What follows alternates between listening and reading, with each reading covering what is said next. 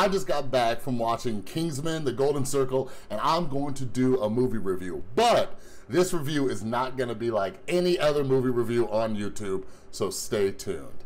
And if you haven't seen the movie yet, I have to warn you that there will be spoilers. I repeat, there will be spoilers, and if you decide to leave, come on back after you see the movie. What's up, everybody? This is Chris from The Rewired Soul, where we talk about the problem, but focus on the solution. And if you're new here, if you're just now joining, my channel is all about mental health, about addiction, about all sorts of stuff. And today I'm gonna be focusing on Kingsman The Golden Circle, but I'm gonna be talking about some topics when it comes to drugs, the war on drugs, and the state of America right now. Because this movie actually touched on a bunch of those topics, and I don't think many people are gonna be discussing them in this way.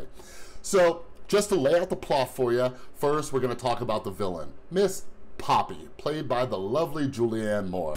Today marks the beginning of a new age. Wait, I'm gonna show you. Say goodbye to the Kingsman. So, Poppy is a drug lord, all right? Basically, she's in charge of most of the drugs all around the world. And because she is, she has to live in hiding. She lives in a very secluded area, in a place that is not even discovered by the rest of the world. And what she wants to do is do what she does legally. She talks about how she is one of the most successful businesswomen in the world, but nobody even knows who she is because what she does in her business is actually illegal. And she thinks drugs should be legal and people should know how amazing she is. So what she ends up doing is tainting a bunch of the drugs with a killer virus. When you use her drugs, you get this disease that turns your veins blue, and that's the first symptom, and then you start getting into this like dance craze, which then leads to paralysis, and then you stop breathing and like your eyes explode and blood starts shooting out all over the place. It's not a good look. So, what she does is that she holds the United States, or the world rather, ransom. Her demands are that unless you sign an executive order that makes these drugs legal and you make me immune to any kind of legal ramifications, all these people are gonna die because I'm the one who has the antidote. Now, this is a topic that I have discussed on this channel, and I'll put a link up in the info card above my head. I have talked about the legalization of weed and how I actually voted for recreational marijuana use here in Las Vegas, well, in the state of Nevada. And this is a big deal. When we're talking about the war on drugs, this is a very, very failed war. We are criminalizing, we are locking people up because of their drug use. And while Poppy in this movie, she's just trying to do it to get fame and so people know who she is, this is actually a bigger issue um, with people using drugs so many of these drugs are non-lethal and things like that. And we've seen from the prohibition days that when things are illegal, more people are actually going to use them. Whereas we could not only reduce the harm that these drugs do, but we could also tax them, it would fuel the economy, as we have seen happen in many, many, many states. So that point of the movie, I think, is very, very relevant. And some of these next points are extremely relevant as well, because we're talking about the decriminalization of drugs, which I also did another video about. Um, Oregon is starting to do that more and more. Next, we're gonna talk about the President of the United States. The President of the United States is played by Mr. Bruce Greenwood. So once they get the demands from Poppy, and the president talks to her, and he's like, okay, we'll meet your demands and all this stuff, and he gets off the phone with her, his vice president's in the room and she's talking about how they can spin this thing and it's not really complying with terrorists and all that stuff. But the president's like, I'm not gonna meet her demands. What are you, crazy? And he starts talking about how he's just gonna let all these drug users die. His idea is these people are doing something illegal, get rid of them all, they all deserve to die, so I'm just gonna make everybody think that I'm going to submit to these demands, but I'm really gonna take my sweet time and let all these people die. And the vice president is all like, what? What are you talking about? These are people, these are actual people. We can't just let them die. And the president's like, well, guess they shouldn't have done drugs in the first place. And what they start doing, they start rounding all the people who have been infected by this virus up and they put them in this big football stadium and they're all locked in these cages, basically just waiting to die. Later, we find out his vice president was actually a recreational drug user. And she is in the Oval Office when she starts to get the blue veins and showing the first symptoms of being infected by this virus. And that's when she makes a plea to him, like, hey, we gotta get the antidote from Poppy or I'm gonna die. And the president basically sits back and he's like, well, guess you should have known better. And she ends up getting shuttled off to one of these football stadiums where they're keeping everybody. Now, this is some real stuff that we need to talk about right now. This is the narrative that a lot of people have is that drug users should die. They're a drain on the economy, and we're looking at them as things, and a lot of people think that they should just die off. I've even seen hateful comments talking about natural selection.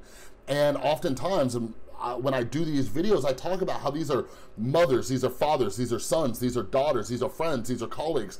These are so many different people. One point that the vice president brings up to the president when he's saying this to her is like, I work for you 20 hours a day. And maybe some people can do that without a chemical, but I need that just to keep my mind right. And this is a whole nother topic, but it's true. A lot of people turn to drugs and alcohol because of the stresses they endure at work. And the president, being Mr. Goody Two Shoes, thinks that these people should die. In reality, most people use drugs recreationally. But if you check out my videos about the actual disease of addiction and how this works, some people are genetically predisposed to addiction. Everybody tries drugs. Most everybody tries drugs, but some people are prone to becoming addicted. Now, I hate to say this, and I will anyways. When watching this, I couldn't help but wonder, like this made a very good point. I couldn't help to wonder is, is this what our current president is actually doing? If you've been keeping up with my channel or you've been keeping up with the news when President Trump is talking about the opioid epidemic or Jeff Sessions talking about what we're doing to eradicate this thing, we have to look and see what are they actually doing. Now, I did do a video uh, about a week or two ago about things that they're moving forward, but an update on the president declaring a national emergency when it comes to the opioid epidemic.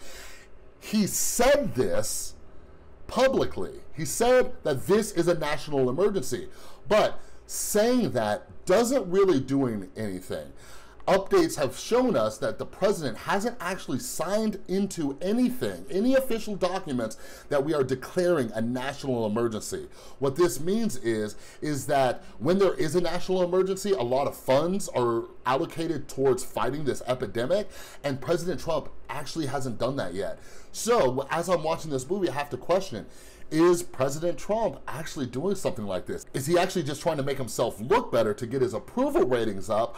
Or does he actually have a plan of action? Is he actually going to sign this in a document that this is a national emergency? Or is he willing to just let these people die? Because th if they die, they're not going to be able to vote for him in four years anyways. Just something to think about. Only time will tell on that one. Lastly, I'm going to talk about whiskey. Whiskey is one of the statesmen. That's part of the plot. Kingsman gets blown up. The statesmen are their American cousins, and Whiskey is like their main dude.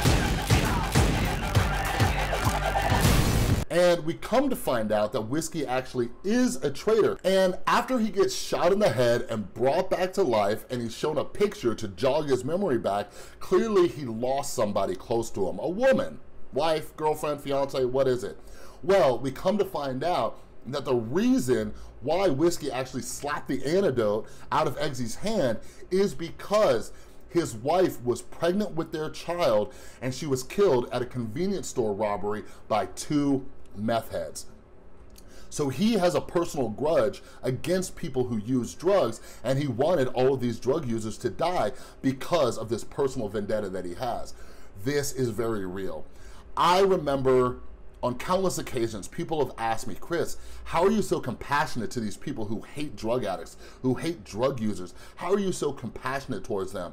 Because I know for a fact that many of them have been hurt by drug users in the past in some way, shape, or form. Me, I'm a prime example. My mom was an alcoholic my whole life. Um, she's coming up on 12 years sober, but for 20 years, I was raised by an alcoholic mom. Alcohol, the disease of addiction, it screwed me up as a kid. It actually led to my addiction. So I was directly affected by an addict.